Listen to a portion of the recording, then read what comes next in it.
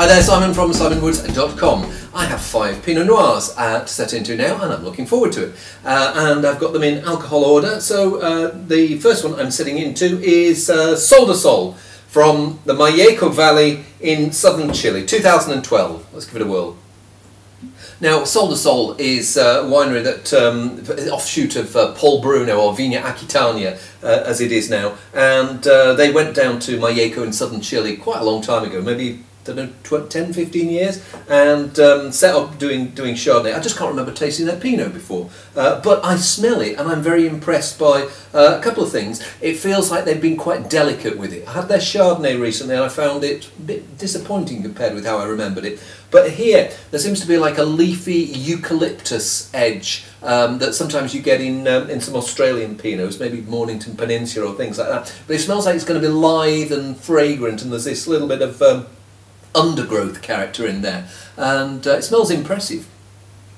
And it tastes impressive. I mean, there's a gentleness about it that some, some, sometimes I find Chilean Pinot Noir um, a bit reduced. They, they've got that, that, that really nice fruit, uh, but they've um, uh, in, in the way they've handled it, they've just been a little bit too uh, uh too hands on, and uh, haven't been able to let it be. And I, it's funny, I said the same about the having tasted the Sol de Sol Chardonnay recently, but here it feels like it's just gentle and lithe and elegant and uh, wafty Pinot uh, with some of these farmyardy, barnyardy uh, characters going in in and out. I smelt that uh, slight mint eucalyptus character, and it's there a little bit when you taste it, but it's not centre stage. And if it was centre stage, it would be dominating the wine.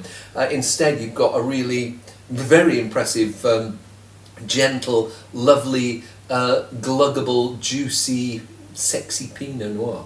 I like it. Anyway, uh, let's move on from that. Uh, and we next one we're in Australia. Shaw and Smith, Pinot Noir 2012 from the Adelaide Hills. It's another one that's on the gentle side, um, and um, maybe a little bit more strawberry, um, and there's something more herby, not not so much the mint eucalyptus that I was getting in the Sol de Sol, um, uh, but it, again, I it, it's gentle. It feels like um, I'm trying I'm trying to think how long they've been doing it. I'm I think it's certainly not as uh, as as intense as it has been in, in the past, but I think that's to do with their there being far more uh, gentle with the way in which they're making the wine. Using that word gentle again. Anyway, let's taste it? Well, it's very, very similar in structure to the Sol de Sol. Um, Flavour-wise, it's that wild strawberry, a little bit of undergrowth, getting into the um, slight plummy character, um, and more on the herby side than the uh, the mint eucalyptus uh, edge I was getting in the in the Sol de Sol. Um, I don't think it's quite as complex, um, but um, it's just as drinkable, just as uh, lithe and elegant, and yeah, I, I'm very impressed by both of those. Hey, uh, let's see how we can get on with wine number three, which is La Crema, Sonoma Coast 2012. First two were 12.5%, this one's leapt up, not very far, 13.5%. And certainly when I stick my nose in there, uh, there's more of the um, darker berry um, and getting into that, uh, maybe a little bit of blackcurrant in there, a bit of plum. And uh, it feels like it's going to have a, a more presence, power, uh, but maybe not the elegance and effortless charm that was in the previous two. And it's okay, but after the previous two I just find that a little bit stewed. The fruit has gone, it's ripe, and the finish I'm left with has got, has got a little bit of heat about it. Um, okay, uh, yeah, it's not, uh, doesn't have me jumping up and down and going woo.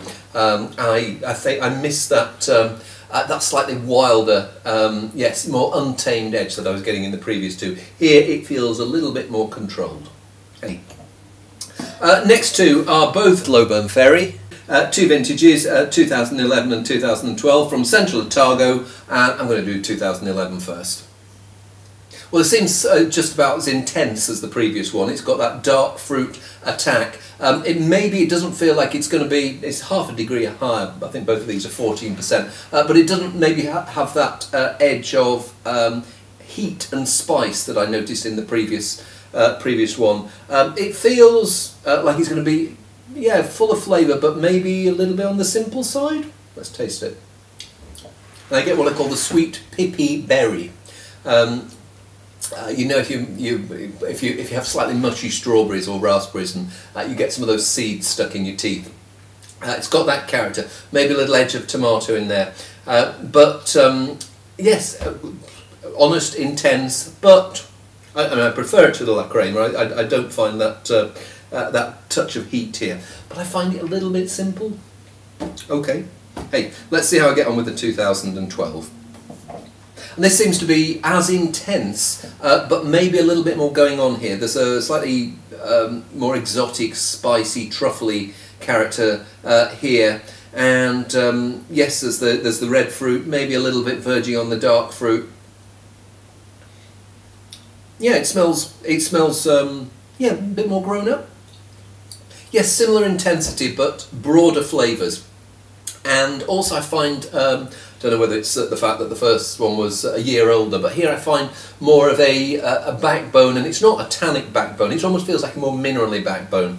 Uh, something that is, um, yeah, uh, giving the, the flavours uh, an entertaining coat hanger on which to uh, drape themselves.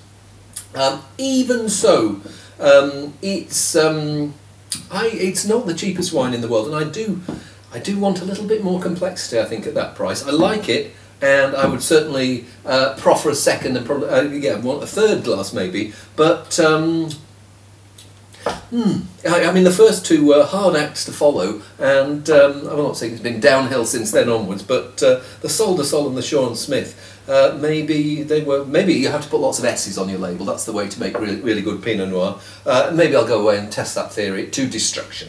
Okay. See you soon.